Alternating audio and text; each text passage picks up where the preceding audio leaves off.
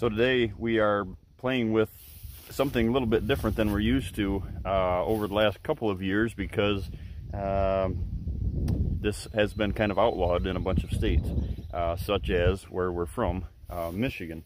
So whatever your beliefs are, try to uh, keep them sheltered or, or uh, controlled, I guess I should say, on this video. But I'm going to explain to you why we're doing this. One, is because it's legal. Two, it's ethical and three, it's what we choose to do here on the farm. Um, and so there's other things that come with that. But what we're doing today is we're setting this out uh, feeder. I've actually purchased this from a uh, neighbor. It was actually a water a water tank, and they actually have it up on um, uh, some some stilts. It's kind of neat, and they used it as a water storage when they were remodeling their home, and it was right around the corner from the house what I've done is I've put the Moultrie uh, directional feeders on the bottom of them, on the bottom of this one, and we're going to give this a whirl to see um, what happens. Now, you know, right off the bat, it says that it'll throw, you know, feed 30 feet. It does not do that, but uh, it's it's uh, kind of serves its purpose for what we're doing, and the reason for that is is we're putting this out on the where the um, ag and the food plots are going to be. So in other words, it's a supplemental feed.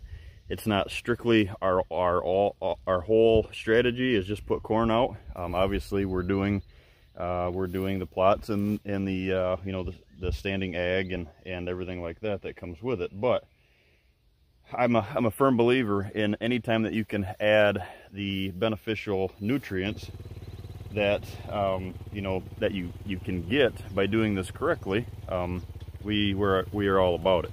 So where does this come into the plan? How do we go about doing this uh, on a huntability side of it and also nutrition? So here at the, the farm right now, we have no summer food. There's uh, nothing here for summer food other than that, you know, is planted by us, other than forbs and forages that are growing in the set-aside hay, hay field. And actually this, this farm has a lot of uh, clover uh, that has been planted and kind of where they used to have ag and that wild clover is actually uh, looks very very good. Um, you know, I've planted the buckwheat and the sorghum in, and we've crimped all that down, um, and we're waiting for that that sorghum to or crimp the the uh, native, uh, you know, the hay field down over top of it, like we spoke in the past videos. And we're waiting for now. We we are in that uh, you know waiting time for, for that buckwheat and that sorghum to to grow, so we can get uh, you know have that standing crop to roll the brassicas into in the, in the fall or over the top of the brassicas in the fall. So where does the feed come into this? The feed, the supplemental feed comes into it as just a way to back up and support feed requirements as far as tonnage. Um, to me, it has nothing to do with putting deer in front of tree stands. Obviously, you can see where this is at. There's no stands. There will not be any stands, um, or uh, bow stands over this. Now, there is going to be right down here back towards you can actually see that the house in the distance there. Our screening is going to be up over the top and that octagon blind is going to be right down there on the edge. Uh, it's 150 125 150 yards to this. So will we will we be able to shoot this? Yes we will with a gun only not a bow. And why is that so important what I find that happens a lot is, is the folks go the extra mile to put all the effort in with the food plots, and then they end up putting a feeder, maybe not of this size, but a feeder in front of the tree stands. And at that point, you might just as well be sitting on the food plot. So what we do here is I'm, I'm putting this out here in the field, but it's related to, so this whole wall up through here, it was uh, is old uh, berm from the field, and the only opening that's going to be in here is there's a two track there that we we talked we're going to shut that off. That's just about 50 60 yards in front of the stand is is because i want that down. We're going to mulch that trail out into the right in front of the octagon. It's going to come down it's just inside the woods here about 40 yards before it so we can hunt you know up from from the bottom up into it. And it comes out it's going to hit that we're going to mulch it out in right in front of the octagon.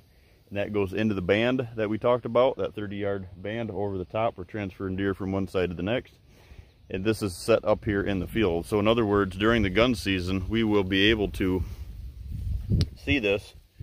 Uh, we'll be able to fill it.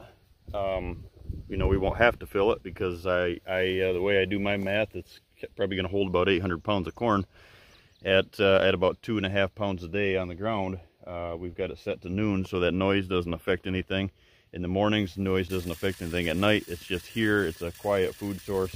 Goes off at noon, um, and and we've got the feed out in front of it. So we can sit there and see that, like I was saying, from the octagon. But it's a strategy that we can get down out of that during the gun season. We'll be able to open the door. It's going to be hidden just inside, just tucked behind a couple cedars, and we're going to be have Egyptian wheat the incognito screening there from domain out in front of it and take two or three steps out the back door and we're gone. And uh, the way the elevation is here is if you could see this, uh, hope maybe you can see this in the, uh, right there is about where the octagon is going to be. And you can see that this just a slight rise. So that the, just the top of that octagon is going to be sticking out. So just a couple of steps out the back door and we're already, we're already um, over the top and we're gone and we can get away from it. So, uh, I got the bees attacking me here. Does it re, does it relate to uh, does it relate to movement? Uh, yes, it does. Absolutely, it relates to that that uh, inlet on that band, and it also relates to a bunch of doe bedding here. It's no different than having the food plot or the ag up here with doe bedding just behind it, which is uh, right behind me here. And we're going to have our our doe bedding corridors poked into this with uh, put make this correct over time here. We're going to make this doe bedding uh, correct with uh, side cover and thermal. So there's no uh, no different than having a food plot out here. And I'm not trying to make excuses for this, guys, because I already know that comment is coming. Uh, I'm trying to, to, you know, let you know the strategy. So we've baited before. This is not so much of a, a, a baiting situation as it's part of our feed, feed program you know, if that ever changes here in Kentucky, then obviously we won't do it. Um, so, but corn is pretty strong as far as protein and value.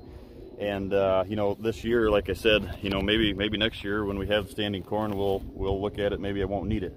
Uh, but it's supplemental feed. We're to have, I think, three of these are around the farm, all strategically placed to help, you know, promote deer in and out of food sources or help um, the huntability of that, but not be on them like we said. There's no tree stands going to be hung here behind it or nothing like that.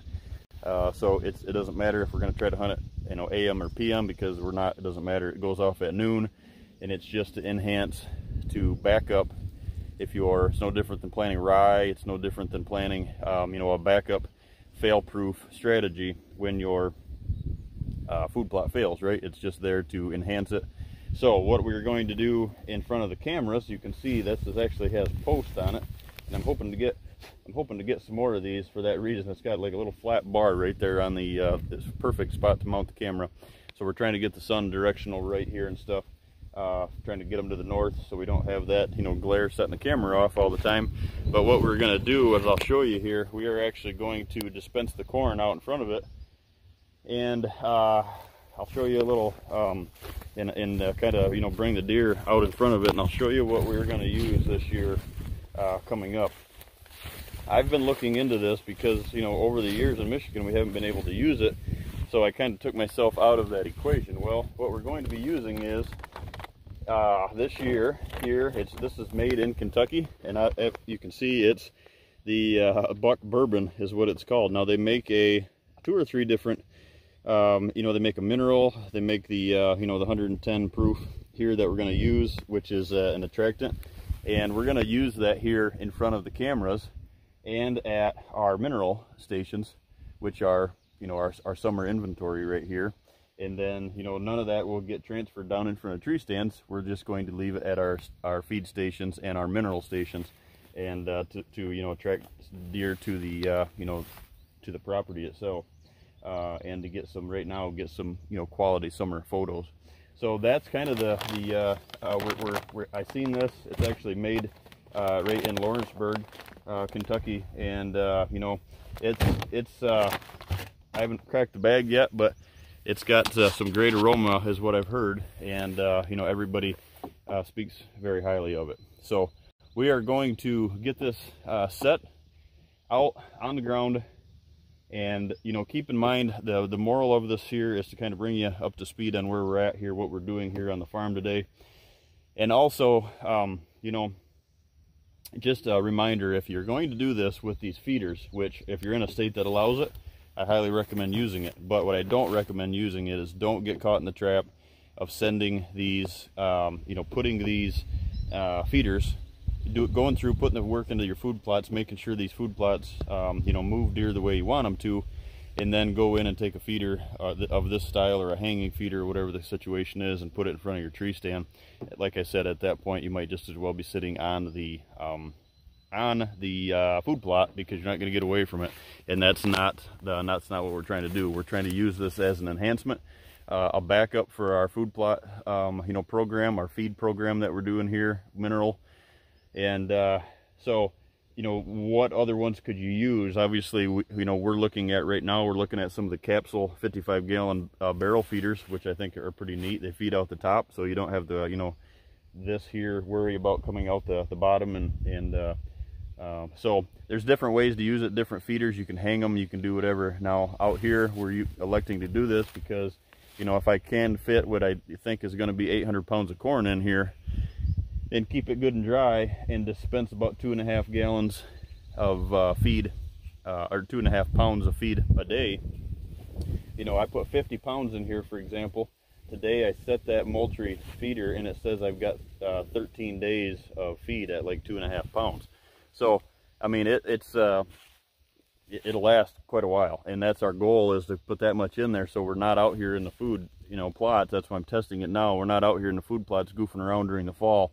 Uh, they're loaded with corn, and uh, you know, maybe we can get that. I got to do the math yet on it, but maybe we can get those, you know, a couple month uh, time feeding out of there and hopefully the batteries last and and uh, we're good to go. And it's just an enhancer so you do not have to be crawling around out here disturbing anything. And it just backs up those uh, potential failed food plots up front or or um, you know the, the uh, deer destroy in a in an area such as we are with good deer numbers uh, you know they destroy your plot and then what do you have left come fall? So just a couple of tips guys kind of like i said bring you up to speed on what we're doing. We're looking uh, pretty uh, excited you know to see. We're gonna put this out now. We've got good movement in front of the cameras and we're gonna put the old buck bourbon to them and uh, and see what happens. So stay tuned